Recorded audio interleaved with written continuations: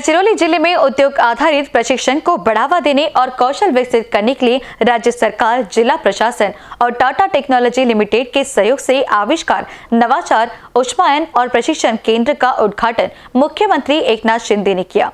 ज़िले में छात्रों की संख्या, आधुनिक तकनीक एवं उपकरणों से सुसज्जित इस प्रशिक्षण केंद्र का उद्घाटन मुख्यमंत्री ने किया। शिंदे ने निरीक्षण कर जानकारी ली। मुख्यमंत्री ने विश्वास व्यक्त किया कि इस प्रशिक्षण केंद्र के माध्यम से न केवल बच्चों को प्रशिक्षित किया जाएगा, बल्कि गढ़चिरौली जैसे जिलों से उद्यमी भी तैयार किए जाएँगे और गढ़चिरौली के समग्र आर्थिक विकास को बढ़ावा मिलेगा। आधुनिक तकनीक से सुसज्जित केंद्र खोलने से गढ़चिरौली के युवाओं को प्रशिक्षण और रोज़गार के कई अवसर उपलब्ध होंगे। गढ़चिरौली ज़िले के समग्र विकास की दृष्टि से ज़िले में बुनियादी ढांचे के विकास पर ध्यान केंद्रित कर रहा है।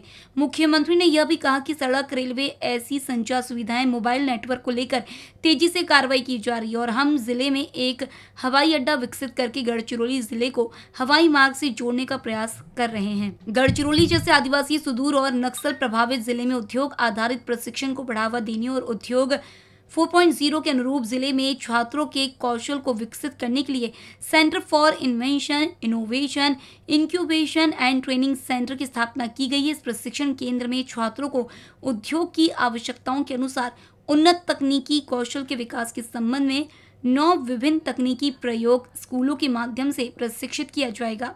यह केंद्र कलेक्ट्रेट गढ़चिरौली और गोंडवाना विश्वविद्यालय के माध्यम से कार्यान्वित किया जाएगा। इस केंद्र में आधुनिक यांत्रिक उपकरण, robotic line, assembly line, electric आधारित वाहन, बैटरी चलित वाहन, वाहनों के विभिन्न हिस्सों के डिज़ाइन और उत्पादन का प्रशिक्षण दिया जाएगा।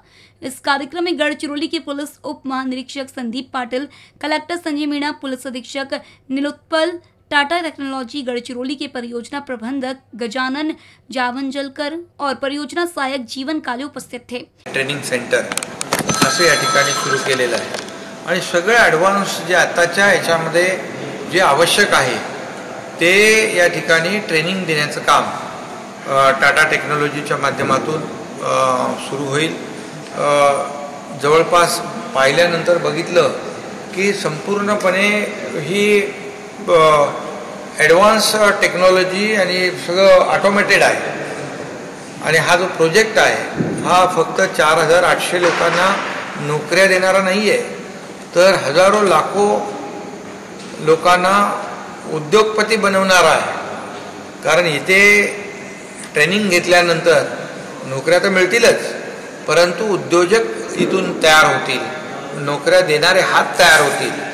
हा महत्त्वाचा मुद्दा या ठिकाणी आल्यानंतर आपल्याला पाहायला मिळतो ही पर्सन अखिलेश भारद्वाज के साथ अभिषेक पानसी बीसीएन न्यूज नागपूर.